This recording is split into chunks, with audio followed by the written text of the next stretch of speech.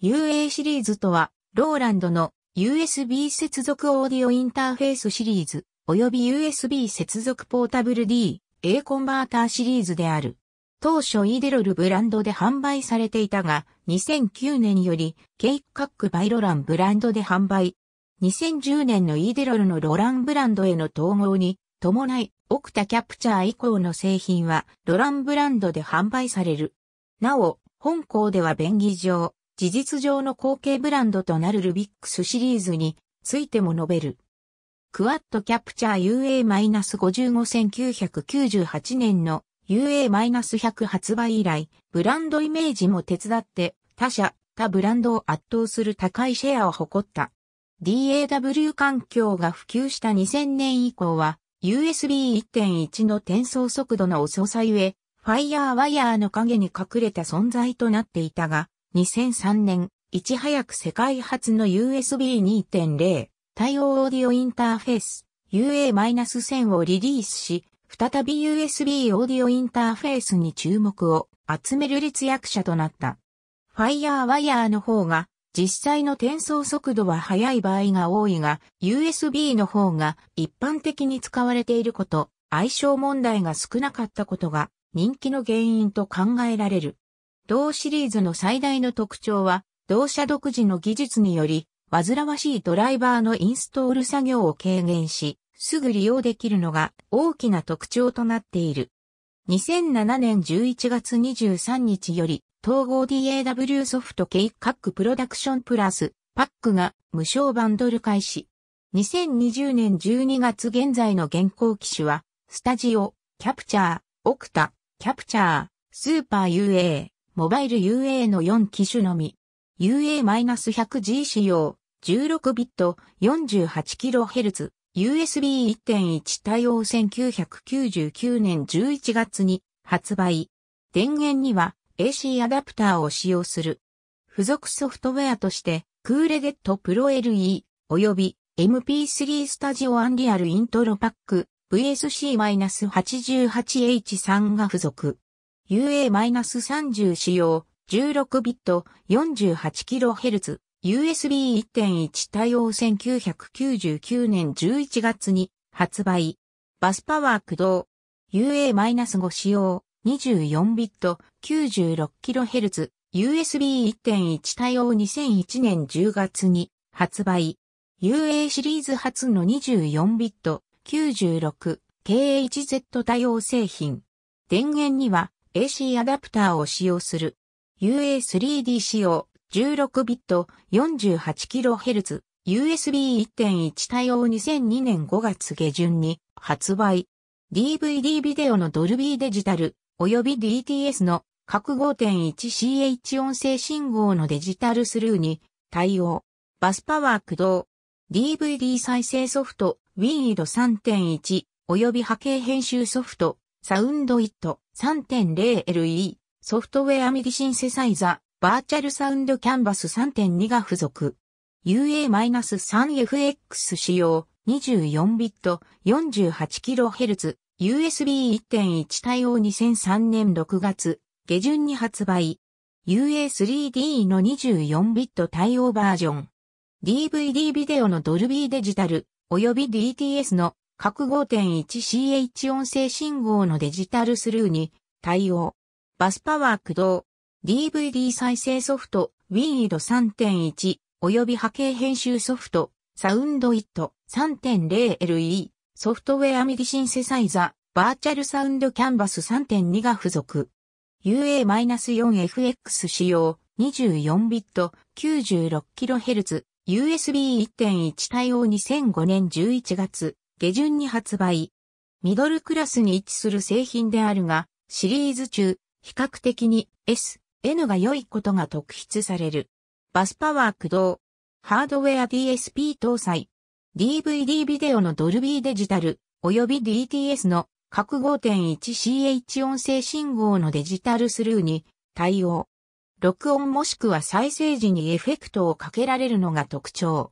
先代の UA-3FX の基本仕様に加え24ビット 96kHz に対応したほかコスムテクノロジーによる真空管アンプシミュレーターを搭載している。内蔵エフェクトにリバーブやディレイを含んでいたこともあり、ニコニコ動画などへの歌唱投稿制作用に人気があった。UA-25 仕様、24ビット、96kHz、USB1.1 対応2004年7月23日に発売。バスパワー駆動可能ながら電源を再生成してアナログ回路をワイドレンジ化していることが特徴。2008年現在どこの販売店で未在庫があると言っていいほどの定番機となっていた。標準的性能でコストパフォーマンスも良いとされ、音楽作成のみならず音楽鑑賞利用の購入者も多い。ややノイズが多く、96kHz 使用時には、レック、プレイボタンを切り替えて使用せねばならないことを不満とする意見も決して少なくない。オープン価格だが、実売価格2万5千円前後。UA-25EX 仕様、24ビット、96kHz、USB1.1 対応 UA-25 の後継機として発売された。ボーカルの録音に適した COMP1、楽器の録音に適した COMP2 の2系統のアナログコンプレッサーが搭載された。このコンプレッサーは扱うパラメータがスレッショルドの設定だけであるため、初心者に扱いやすい反面細かな調整を要するプロフェッショナルな仕様は難しい。UA-25 で批判された S、N は若干の改善が見られる。UA-101 仕様24ビット 192kHz USB 2.0対応2005年6月に発売。UA-1000 に続き UA シリーズ2作目の USB 2.0対応製品及び UA シリーズ初の24ビット 192K1Z 対応製品。インアウト数では UA-1000 に劣るが音質面ではそれに近いものがあるとされる。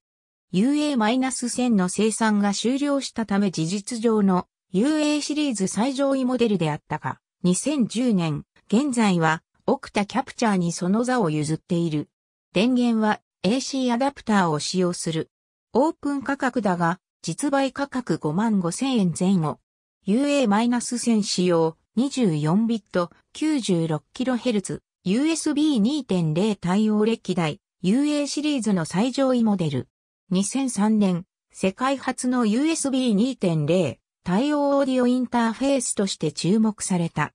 ADAT 端子搭載。コストパフォーマンスに極めて優れ、プロ機材とアマチュアの差を一気に縮めた存在。2016年現在すでに終売済み。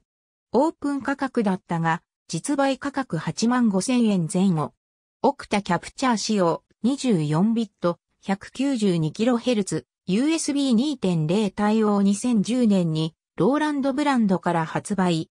製品名称からは UA シリーズとは判別できないが、ローランド公式ウェブサイトの製品情報では UA-1010 と形式併記されている。インアウト数は10イン、10アウト、その他に8系統のマイクプリアンプ、VS プリアンプ、さらに極小の0点 C を実現する VS ストリーミングを搭載している。電源には AC アダプターを使用する。オープン価格だが、実売価格6万円前後。クワッドキャプチャー仕様24ビット 192kHz USB 2.0対応2011年にローランドブランドから発売。名称からは UA シリーズとは判別できないが、ローランド公式サイトの製品情報では UA-55 と表記されている。オクタキャプチャーの廉価版という位置づけで、実質的には UA-25EX の後継機。インアウト数は4ミン、4アウト、デジタル端子はコアキシャルのみとなった。その他に2系統のマイクプリアンプ、VS プリアンプ、及びオクタキャプチャーと同様の VS ストリーミングを搭載している。バスパワー駆動でアナログ回路をワイドレンジ化している点は UA-25 と同様。オープン価格だが実売価格2万3000円前後。トライキャプチャー仕様24ビット 96kHz USB 1.1対応2011年にローランドブランドから発売。名称からは UA シリーズとは判別できないが、ローランド公式サイトの製品情報では UA-33 と表記されている。実質的なインアウト数は2イン、2アウトであるが、マイクギターラインの3種類の入力端子や音量つまみを持つ。3つのレコーディングモードを搭載し、ユーストリームなどのインターネット製放送にも使用可能。バスパワー駆動。戦術の UA-4FX や口述するストリームステーション同様、USB1.1 のため 96kHz での録音と再生はスイッチを切り替える必要がある。オープン価格だが、実売価格1万4000円前後。デュオキャプチャー EX 仕様24ビット 48kHz USB1.1 対応2012年にローランドブランドから発売。名称からは UA シリーズとは判別できないが、ローランド公式サイトの製品情報では UA-22 と表記されている。クワットキャプチャーの事実上の弟分にあたるモデルで、クワットキャプチャーと同様の2系統のマイクプリアンプ、VS プリアンプ、及び VS ストリーミングを搭載している。ただしクワットキャプチャーと異なり、電源には AC アダプターを使用する。また、サンプリング周波数も最大48 KHZ までの対応となる。オープン価格だが、実売価格17,000円前後。デュオキャプチャー仕様24ビット 48kHz USB 1.1対応2011年にローランドブランドから発売。名称からは UA シリーズとは判別できないが、ローランド公式サイトの製品情報では UA-11 と表記されている。実質的なインアウト数は2イン、2アウトで標準フォーンのギター、マイク兼用端子とステレオミニのライン入力端子を持つ。バスパワー駆動。オープン価格だが、実売価格8000円前後。デュオ、キャプチャーマークに使用。24ビット、48kHz、USB1.1 対応2013年に、ローランドブランドから発売。名称からは、UA シリーズとは判別できないが、ローランド公式サイトの製品情報では、UA-11MK2 と表記されている。上記のデュオキャプチャーのマイナーチェンジモデル。オープン価格だが、実売価格7500円前後。スタジオキャプチャー仕様24ビット 192kHz USB2.0 対応2013年にローランドブランドから発売。名称からは UA シリーズとは判別できないが、ローランド公式サイトの製品情報では UA-1610 と表記されている。USB 接続オーディオインターフェースとしてのフラグシップモデル。最大16イン、10アウトの入出力に対応し、バンドの一発取りや本格的な音楽制作システムのコアシステムとして優れたパフォーマンスを実現。アコースティックドラムのレコーディングをはじめとしたマルチレコーディング時に威力を発揮するオートセンスや超低レーテンシーを実現する独自技術の VS ストリーミングも搭載している。新たに視認性の高いレベルメーターやモニターミックス端子、新設計のコンプレッサーアルゴリズムを採用し、より柔軟なレコーディング環境を実現。2台のスタジオキャプチャーを同時使用することで、最大32イン、18アウトという巨大なシステムを構築することも可能。オープン価格だが、実売価格9万円前後。モバイル UA 仕様、32ビット 352.8kHz DSD2.8MHz USB 2.0対応2014年にローランドブランドから発売。パソコンを用いてハイレゾ音源を再生することができる UA シリーズ唯一の再生専用 USB オーディオインターフェース。新開発の DSP オーディオエンジン S1 ロッキーと1ビット DA コンバーターを使用することで入力の濁りや曇りのない滑らかな再生が可能となっており、同社独自の技術 VS ストリーミングテクノロジーにより変換による音の遅延が少ない安定した動作を実現。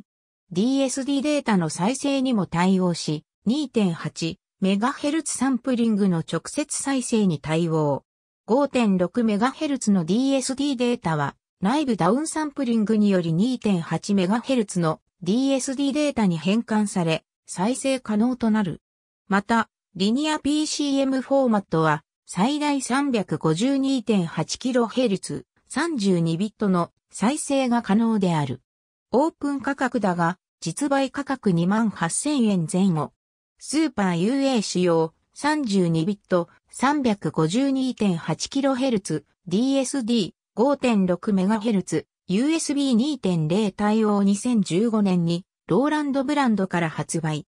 上記のモバイル UA 同様 DSP オーディオエンジン S1 ロッキーと1ビット DA コンバーターを使用することで入力の濁りや曇りのない滑らかな再生が可能となっており、同社独自の技術 VS ストリーミングテクノロジーにより変換による音の遅延が少ない安定した動作を実現。DSD データの再生にも対応し、最大 5.6MHz サンプリングの直接再生に対応。また、上記のモバイル UA 同様、リニア PCM フォーマットは最大 352.8kHz、32ビットの再生が可能である。電源には AC アダプターを使用する。通常の接続では本体のみを使用し、XLR コネクターによる接続が必要な時は、付属のブレークアウトボックスを併用するなど、使用用途に合わせた柔軟なセッティングが可能となる。ちなみに高価格帯のモデルでありながらオプティカル、コアキシャルに関わらずデジタル入出力端子は意外にも装備されていない。オープン価格だが、実売価格7万5千円前後。UA-4FX2 仕様24ビット 192kHz USB 2.0対応2016年12月上旬に発売。製品形式から示す通り、戦術の UA-4FX の改良版にして UA シリーズの最終機種にあたる。先代の UA-4FX の基本仕様に加え、新たに USB 2.0及び24ビット 192kHz に対応となった。オープン価格だが、実売価格2万円前後。UA-1A、UA-1D ケーブル一体型のオーディオインターフェース。UA-1A はアナログ用、UA-1D はデジタル用で入出力端子のみを備えた簡単なものになっている。UA-1X、UA-1A 及び UA-1D の後継機種。デジタル音声はオプティカル出力のみとなった。UA-1EX、UA-1X の後継機種。オプティカル入力端子、プラグインパワード、マイク入力端子が追加された。また、専用ドライバで動作するアドバンスモードを装備し、ティップスイッチにより、サンプリング周波数などの細かい設定が可能となった。UA-1G UA-1EX の後継機種。黒い本体に大きなインプットボリュームダイヤルが特徴。UA-1EX からの変更点は、ギターマイク入力端子の追加。ブランド名変更と同時にモデルチェンジされたのは UA-1G のみ。実売価格1万2000円前後。2017年2月より登場したこれまでの UA シリーズに代わる後継ブランド。ルビックス44仕様24ビット 192kHz USB 2.0対応2017年2月にローランドブランドから発売。実質的には戦術のクワッドキャプチャーの後継機という位置づけにあたる。インアウト数は4ミン、4アウト、低ノイズ、高音質設計のマイクプリアンプを4機搭載し、iPad を使用したモバイルレコーディングにも対応している。